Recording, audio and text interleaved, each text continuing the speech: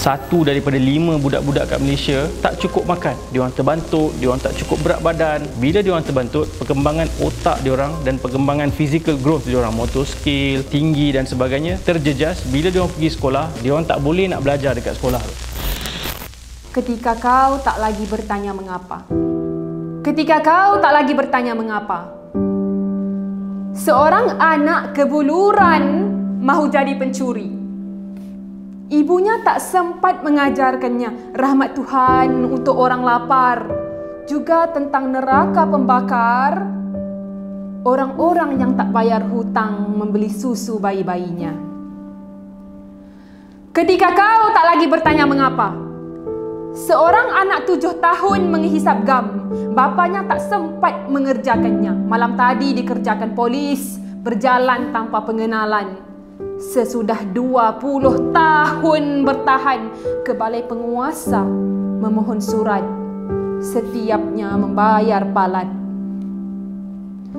Ketika kau tak lagi bertanya mengapa seorang anak dibanting tulangnya, diburuh dan dipijak, apakah yang lebih kejam selain digaji seringgit sejam?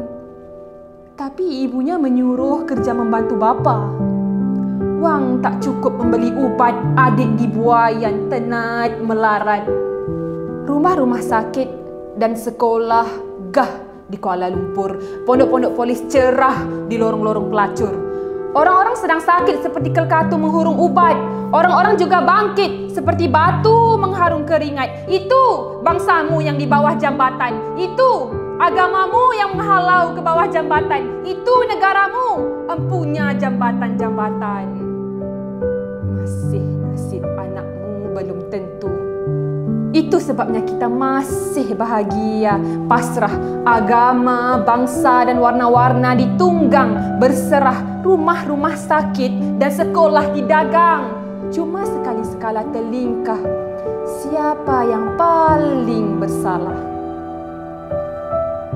Bapa-bapa masih bekerja, membanting nyawa sambil menggigit telinga saudara berlain suara. Ibu-ibu menadah paracetamol milik Tuhan. Anak-anak lupa susu, lapar soalan.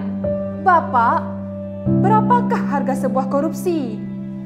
Mengapa lebih murah lagi dari sekumin maruah dan kebangkitan?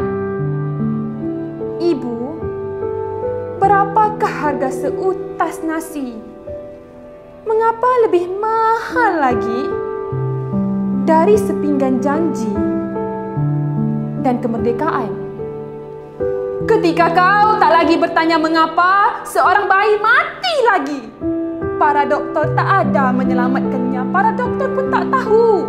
Ada bayi lahir di rumah kerana tak mampu. Ada bayi lahir menjamah susu pekat manis dicampur air Ibunya kering susu, bapaknya kering wang. Anaknya mati, siapa kering mata? Bukankah mereka yang berdosa? Ketika kau tak lagi bertanya mengapa, saudaramu hidup ditanyakan, mati tak dipersoal.